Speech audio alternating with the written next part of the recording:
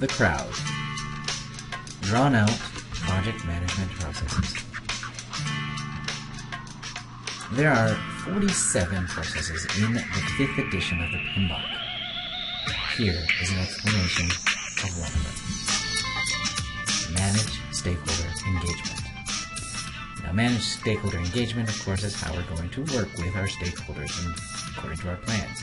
So our inputs would naturally be our plans. One most important plan would be your stakeholder management plan. That helped us decipher how we're going to work with them. And you can argue pretty much any of the project management plans could be an input here, but really let's highlight the communications management plan, because really that's how we've decided how we're going to work and communicate with them.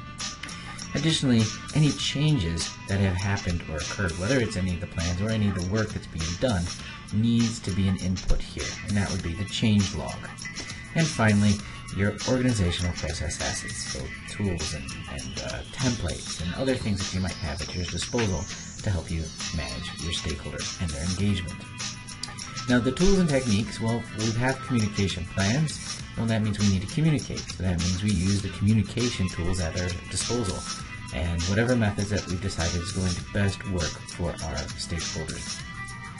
Likewise, you as a project manager have many skills, and that would be your interpersonal skills as well as your management skills. But in both cases, it's really how you behave, how you act, how you interact, and how you coach, how you mentor, how you really follow through and communicate and, and do the things that you said you would do.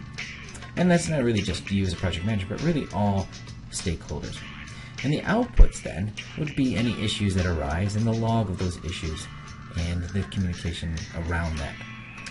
And then you would also have the outputs of updates. So if things change or have been altered or just need to be identified that have been um, most current is your project management plan. So it have updates and any other documentation that we're using in the course of our project. And you know, for instance, tools, I'm sorry, the templates, like in our organizational process assets, they could also be an output because if we update them, then that also needs to be reflected in our in our documentation. And that is the process of managed stakeholder engagement.